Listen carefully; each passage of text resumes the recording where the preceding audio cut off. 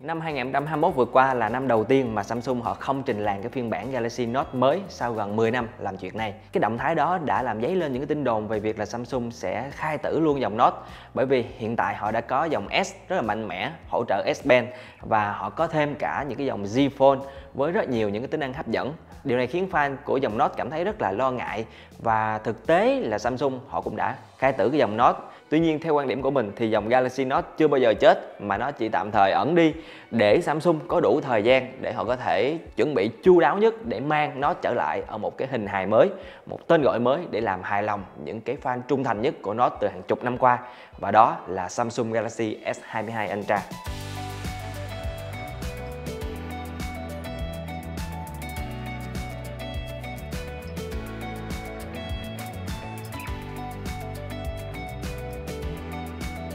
Mình nghĩ rằng có 4 lý do tại sao Galaxy S22 Ultra sẽ là lựa chọn đáng cân nhắc nhất đối với anh em nào đang sử dụng những cái thế hệ Note trước đây hoặc là fan của dòng Note. Đầu tiên là về thiết kế. Một trong những cái dòng Note mà mình đã từng sử dụng qua và khá là ấn tượng về mặt thiết kế đó chính là Galaxy Note 9 và cái cảm nhận đó cũng tương tự trên cái dòng Galaxy Note 20 trước đây. Khi mà mình cầm cái chiếc máy Galaxy S22 Ultra này, cảm giác đầu tiên là mình phải thốt lên wow, nó rất đẹp và nó thừa hưởng được tất cả những giá trị mà Samsung họ đã xây dựng được đối với cái dòng Galaxy Note. Giờ đây, cái Galaxy S22 Ultra này nó thừa hưởng toàn bộ những giá trị đó. Nó vẫn là một cái thiết bị rất là thanh lịch, rất là đẹp mắt và cái chất lượng hoàn thiện của nó thì cực kỳ tốt. Ban đầu khi mà đọc thông số và nhìn nó trên à, màn ảnh thông qua những cái video trên tay của người khác á, thì mình nghĩ rằng một cái chiếc máy to như thế này sẽ đem lại cảm giác khó chịu khi mà mình cầm nắm. Nhưng thực tế khi mà mình đã cầm nó vào và sử dụng thì những cái suy nghĩ đó hoàn toàn tan biến và mình rất là bất ngờ với điều này. Cái cách mà Samsung xử lý những cái cạnh bên hông của máy giúp cho tay của mình khi mà cầm vào rất là dễ chịu và không hề bị cấn. Cái mặt sau là một trong những cái điểm mà mình ấn tượng nhất. Galaxy S22 Ultra thì có mặt sau được làm bằng kính, là dạng kính nhám. Nếu như kính bóng quá bám vân tay, cái vật liệu nhôm thì lại không thân thiện với bàn tay khi sử dụng. Còn nhựa thì lại có phần hơi rẻ tiền. Thì cách sử dụng kính nhám như trên Galaxy S22 Ultra này giải quyết được toàn bộ những vấn đề đó. Mình có thể cầm nắm nó và sử dụng và cảm thấy rất là dễ chịu và thân thiện đối với tay của mình. Một cái điểm mà mình rất thích đó chính là nó không bị bám vân tay quá nhiều nhờ cái bề mặt kính nhám này. Samsung cung cấp cho Galaxy S20 Ultra rất là nhiều những cái tùy chọn màu sắc và nó rất là đặc biệt và trẻ trung. Mình cực kỳ thích màu trắng này, tại vì nó sang trọng, nó tinh tế, rất là nhẹ nhàng. Một cái điểm đáng chú ý và cũng là yếu tố giúp cho gia tăng tính nhận diện của Galaxy S22 Ultra so với những cái dòng S22 khác cũng như là những cái thiết bị Android khác trên thị trường, đó chính là cụm camera sau. Thay vì được làm bởi một cái cụm nhô lên rất là to, rất là thô giống như là trên thế hệ trước thì giờ đây Samsung họ lại xử lý tinh tế hơn. Họ lược bỏ cái phần đế ở phía dưới đi, trang bị hẳn luôn những ống kính lồi lên. Nó được chia tách với nhau và nó giúp cho cụm camera này nó hầm hố nhưng lại thanh thoát, không bị cảm giác nặng nề. Nói về những cái phím bấm chức năng, những cái phím cứng thì cái cách bố trí của Samsung cũng rất là tốt, được đặt ở những cái vị trí rất là thuận tiện để chúng ta có thể bấm và nó không hề bị sụp xịt hoàn thiện rất là tốt. Cảm biến vân tay cũng vậy cũng được đặt ở một vị trí mà ngón cái của chúng ta rất dễ để có thể thao tác không bị với hay là gặp khó khăn gì trong quá trình sử dụng. Ở mặt trước chúng ta sẽ có một màn hình 6,8 inch AMOLED và nó có tần số quét tối đa là 120 Hz cái độ sắc nét hay là cái khả năng hiển thị rất là tốt của màn hình AMOLED là cái điều nó không quá xa lạ và mình sẽ không nói về nó nữa cái điểm mà mình rất là ấn tượng khi mà mình cầm cái máy này lên và nhìn vào màn hình của nó là những cái cạnh viền cực kỳ mỏng cực kỳ sexy. Chính nhờ cái viền mỏng như thế này nó giúp cho khả năng hiển thị trên mặt trước của máy lên tới 90,2% và khi mà mình dùng nó để lướt web để làm tất cả những tác vụ trên đây hay là coi phim giải trí này kia nó cũng tuyệt vời nó cũng sướng hơn rất là nhiều. Lý do thứ hai đó chính là hiệu năng. Galaxy S22 Ultra được trang bị cái vi xử lý mới nhất của Qualcomm, đó chính là Snapdragon 8 Gen 1 thay vì chip Exynos 2002 à, như là những cái đồn đoán trước đó. Và điều này sẽ làm hài lòng những cái bạn nào có đòi hỏi cao về mặt hiệu năng và đã tin tưởng những cái con vi xử lý của Snapdragon thay vì Exynos. Ở bên cạnh đó thì máy sẽ có những cái tùy chọn 8GB RAM hoặc là 12GB RAM, tùy vào nhu cầu sử dụng. Nhưng mà về tổng thể thì mình à, nhận định cấu hình của máy sẽ đáp ứng được gần như là toàn bộ những nhu cầu sử dụng của chúng ta. Khi mà mình chơi PUBG Mobile, một cái tựa game cũng đòi hỏi tương đối cao về mặt đồ họa, về mặt cấu hình, thì mọi thứ nó đều diễn ra một cách rất là mượt mà. Mặc dù hiện tại cái tần số quét vẫn chưa được tối ưu cho cái tựa game đó, tuy nhiên mình vẫn chơi nó rất là thoải mái. Nhờ màn hình kích thước lớn, hiệu năng được duy trì ổn định, nhiệt độ thân máy không quá cao khi sử dụng, giúp cho trải nghiệm chơi game của mình rất là tốt. Còn đối với khả năng làm việc, mình đã sử dụng cái máy này để dựng một cái thước phim ngắn thông qua cái phần mềm VN và cái quá trình mà import file vào.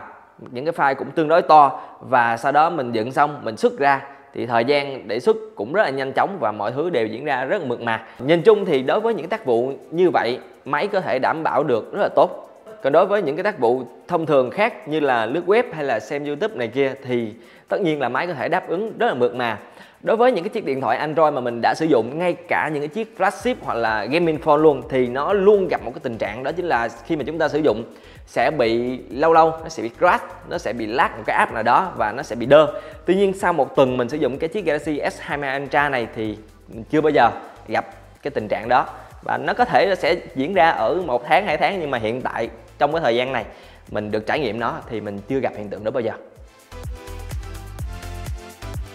Yếu tố thứ ba đó chính là về camera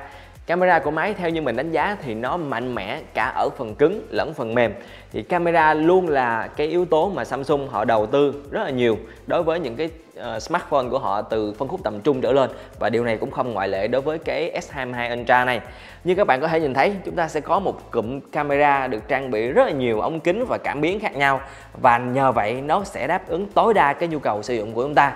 Kết hợp với trí tuệ nhân tạo cũng như là một cái phần cứng đủ mạnh thì cái quá trình mà chụp ảnh, xử lý ảnh nó cũng diễn ra nhanh chóng và nó mượt mà hơn. Khả năng zoom và cái chất lượng ảnh được cải thiện trong điều kiện thiếu sáng là hai cái yếu tố mà Samsung họ nhấn mạnh rất là nhiều trên cái dòng Galaxy S22 Ultra này. Và đây cũng là hai cái yếu tố mà mình cảm thấy hài lòng, cảm thấy thích thú nhất đối với hệ thống camera trên cái chiếc máy này à, vừa rồi mình có mang cái S2 Ultra này để đi dự à, một cái buổi cưới của mọi người đồng nghiệp của mình trên công ty. Thì mình được bố trí ngồi ở một cái bàn rất là xa. Tuy nhiên khi mà buổi lễ diễn ra chú rể và cô dâu bước lên sân khấu thì mình muốn ghi lại cái khoảnh khắc đó muốn chụp hình lại. Thì lúc bây giờ mình mở điện thoại ra bấm vào zoom 10x là mình đã có thể ghi lại cái khoảnh khắc rất là hạnh phúc của cái cặp đôi đó trên sân khấu. Mà mình không phải tốn công quá nhiều, không phải chạy lên, chạy xuống và mình có được cái bức ảnh ở cái chất lượng mà mình cảm thấy rất hài lòng. Đó là điểm mà mình rất thích đối với cái khả năng zoom trên cái chiếc máy này. Còn về chất lượng chụp ảnh thiếu sáng thì bạn Khang là mod chuyên về camera thì bạn đã mang cái máy này để đi chụp ảnh nguyên một cái buổi ở Sài Gòn và cái nhận xét của bạn Khang, đó chính là khả năng xử lý của nó rất nhanh và hình ảnh chụp đêm, chụp thiếu sáng mà bạn nhận được thì cũng rất là ấn tượng so với những gì mà bạn có thể hình dung được về một cái hệ thống camera trên điện thoại. Yếu tố cuối cùng đó chính là S Pen S Pen là cái đã tạo nên cái giá trị rất là to lớn của cái dòng Note và giờ đây nó được tích hợp lên S20 Ultra. Chúng ta sẽ có một cái khe trống, một cái vị trí hoàn hảo để nhét vừa cái bút này vào và nó luôn nằm ở đó, sẵn sàng cho mọi tác vụ của chúng ta. S Pen trên S22 Ultra có thể làm được tất cả những gì mà cái S Pen trên dòng nó trước đây làm được. Nó có thể phục vụ những tính năng, ví dụ là viết nhanh một cái ghi chú nào đó, rồi dịch từ, rồi những cái tính năng liên quan tới AI toàn bộ những tính năng đó đều có mặt ở trên đây. Việc có một cái bút như thế này sẽ giúp cho nhu cầu về cái việc ghi chú hay là phát thảo luôn sẵn sàng ở đó và khi cần chúng ta có thể lấy ra để sử dụng. Trước đây khi mà mình còn đi học đại học thì mình đã từng rất là thích rất là ao ước có được một chiếc Samsung Galaxy Note để mình uh, ghi bài mình thay thế nó thay thế tất cả những cái cuốn tập lĩnh kỉnh mà mình mang theo đi học bằng một chiếc Galaxy Note. Tuy nhiên lúc đó điều kiện kinh tế chưa cho phép và cho tới hiện tại thì mình vẫn rất muốn sở hữu một chiếc Galaxy có cái bút uh, ờ, S Pen đi kèm như thế này và S22 Ultra ra đời đúng vào thời điểm này đúng vào cái nhu cầu của mình. Uh, bên cạnh cái việc mà ghi chú này kia hoặc là vẽ vời dành cho những cái bạn sáng tạo nội dung một trong những cái tính năng mà mình sử dụng nhiều nhất trong thời gian vừa qua đó chính là cái tính năng dịch từ giúp mình đọc được những cái bài báo quốc tế những cái bài báo liên quan tới công nghệ này kia nó diễn ra nhanh hơn và từ đó mình cũng học được từ mới uh, giúp cho cái giống từ tiếng Anh của mình, nó nhiều hơn. Ngoài việc đáp ứng những cái nhu cầu mà phát thảo hay là sáng tạo gì đó, thì cái cây bút S Pen này nó còn giúp chúng ta thao tác trên màn hình ở những cái tác vụ nhỏ. Ví dụ như là dựng phim, chúng ta cắt những cái từng đoạn phim ra, rồi chúng ta chỉnh hình này kia. Nhờ cái bút S Pen nó cũng giúp cho thao tác đó diễn ra nhanh chóng và nó hiệu quả hơn rất nhiều so với chúng ta dùng ngón tay. Bốn cái lý do mà mình vừa nêu, cũng như là những cái trải nghiệm của mình mình nghĩ là đủ tốt, đủ mạnh để củng cố lại cho cái nhận định ban đầu của mình. Đó chính là Galaxy S22 Ultra sẽ là lựa chọn mà bất kỳ một cái tín đồ của dòng Note nào đều không thể bỏ qua. Và cũng khẳng định một lần nữa, đó chính là dòng Note theo mình chưa bao giờ chết, mà nó chỉ tái sinh ở một hình thái mới,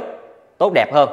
Bây giờ thì xin chào và cảm ơn các bạn. Mình là Minh Trí ND trên tinh tế.vn